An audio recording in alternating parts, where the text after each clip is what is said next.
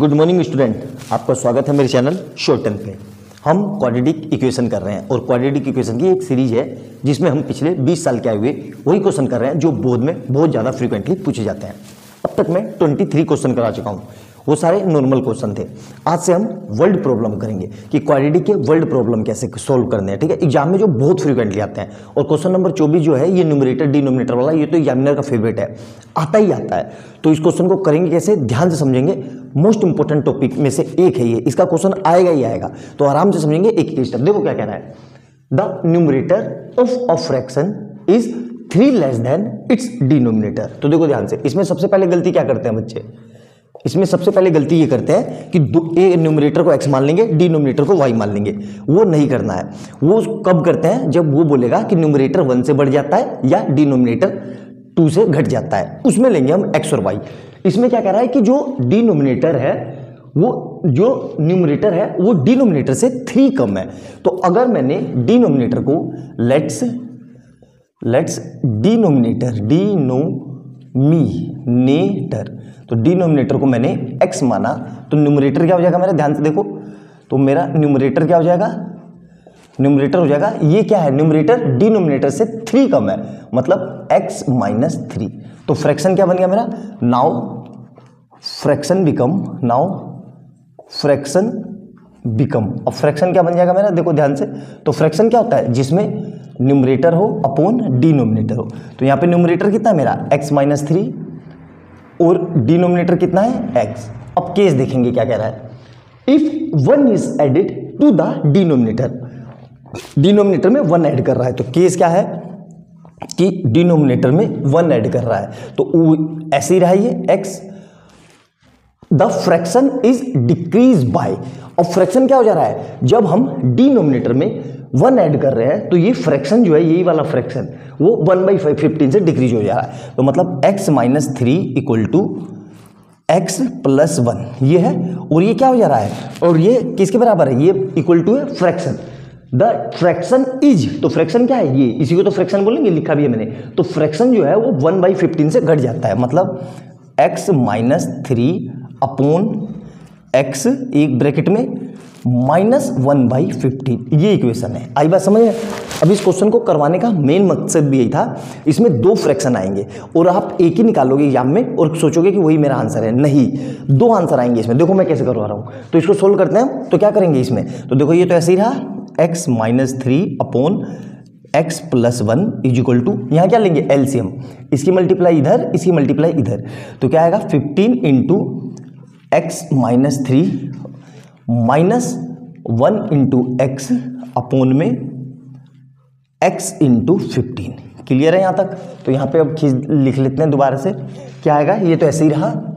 X minus three upon x plus one is equal to इसको solve करेंगे तो देखो कितना आएगा। फिफ्टीन की एक्स से करी तो fifteen x minus fifteen three जा फोर्टी फाइव और माइनस का एक्स और लिखा हुआ है। और इधर से क्या जाएगा? फिफ्टीन एक्स अब फिर से क्या करेंगे? इन सबको मिला देते हैं तो x minus three upon x plus one is equal to fifteen fifteen में से वन गए तो fourteen x minus forty five upon में फिफ्टीन एक्स क्लियर है? इस 15 से ये 15 को मत काट देना। ये बच्चे बहुत फ्रीक्वेंटली करते हैं। ये गलती मत करना कि इस 15 से इस 15 को काट दिया। नहीं कटता। वो मल्टीप्लाई में कटता है। प्लस माइनस में नहीं। और फिर से इसकी मल्टीप्लाई इधर, इसकी इधर। तो क्या जाएगा? एक्स माइनस थ्री और ब्रैकेट में fifteen x is equal to यहाँ से क्या आएगा? एक्स प्लस वन की मल्टीप्लाई किससे? Fourteen x minus forty five से।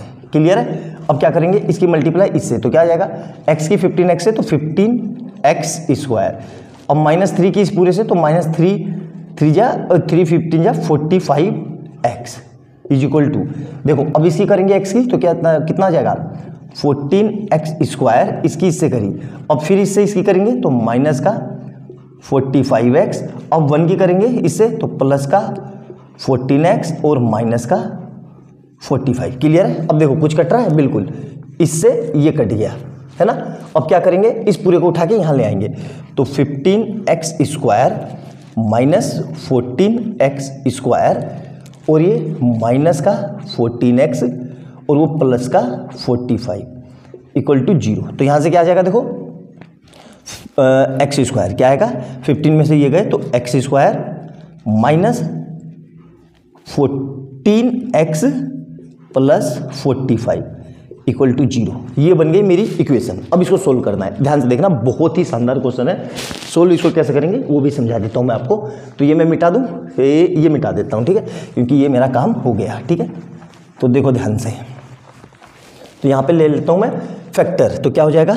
X square minus fourteen x plus forty five equal to zero अब 45 की इससे मल्टीप्लाई इसके आगे कुछ है तो वन तो 45 के ऐसे फैक्टर जो प्लस माइनस करके 14 आ जाए, ठीक है? और मल्टीप्लाई करके 45 तो मुझे तो याद है x square minus nine x minus five x plus forty five equal to zero तो यहाँ से क्या आ जाएगा? देखो, इस पूरे में से क्या कॉमन आ रहा है? एक्स तो ये कितना हो जाएगा?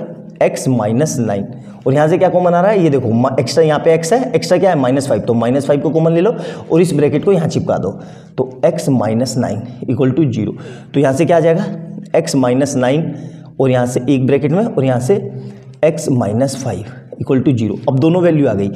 X minus nine equal to zero एक तरफ़ और x minus five equal to zero दूसरी तरफ़। तो यहाँ से एक्स कितना जाएगा? एक्स इक्वल टू नाइन एक आंसर और एक्स इक्वल टू फाइव ठीक है? दो आंसर अब क्या करेंगे? दोनों को चेक करेंगे कि सर दोनों में से कौन सा आंसर है।